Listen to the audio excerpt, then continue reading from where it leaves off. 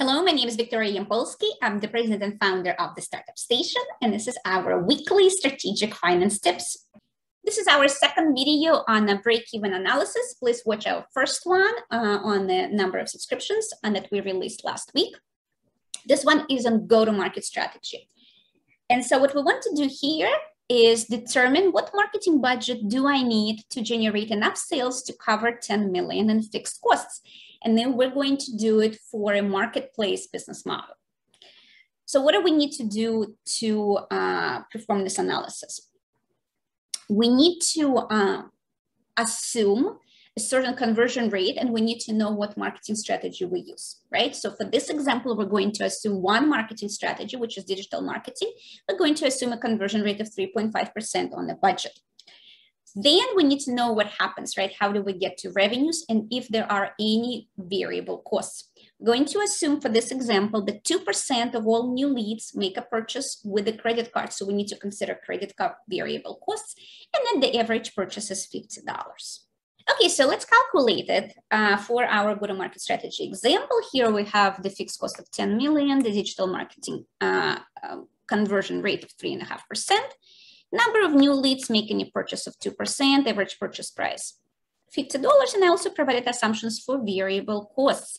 Variable credit card fees 2.9% and fixed credit card fee uh, 0.3, right? Uh, dollars. And so what it means is that you pay 2.9% on all um, revenues uh, that use a credit card, and then you pay 30 cents per transaction.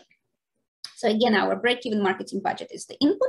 We can just make it 5 million um, so that we have a number or 50, let's make it 5 million. Um, and then let's build the logic that will allow us to calculate what this number should be to break even. So the first step is to calculate the number of leads. To be conservative, we're going to use the floor function. Number of leads cannot be partial. We're going to multiply our marketing budget by the conversion rate uh, you will get the conversion rate from the industry norm in your case. Now we know that the number of customers will be 2% of the leads. So we can do this as well. We're going to use the uh, floor function as well to be more conservative. And then that gives us our revenue because each customer will spend $50. Okay, now uh, let's calculate our costs.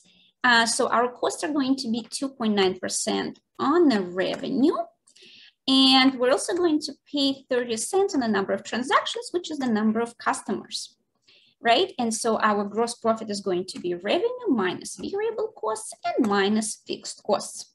Our fixed costs are 10 million. And what we need to do is uh, to make sure that the difference between our gross profit and uh, fixed costs is as close to zero as possible. Now, the reason why I may not get to zero exactly is because we have whole numbers, not partial, and so it may not solve exactly, but it doesn't matter as long as it's close. It's immaterial. So now let's increase the budget to 15 million and see what that does. Uh, to 15 million. It still didn't do much. So how about we're going to increase it to 25 million? Okay, to 50 million. Okay, you can see this model isn't very uh, viable because of the 252 million, okay, 260 million, uh, 300 million. Okay, so maybe a little less like 290 million. Okay, 295 million, 297 million, 298 million, Okay, 300 million. Okay, so I think I uh, erased. Okay, let's, let's see, we can get to as close to zero as possible. So maybe the uh, answer will be somewhere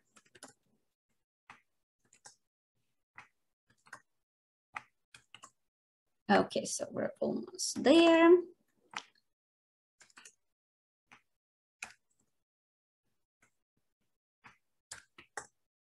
Okay, so let's just do, Okay, so there we go. So the answer is really, um,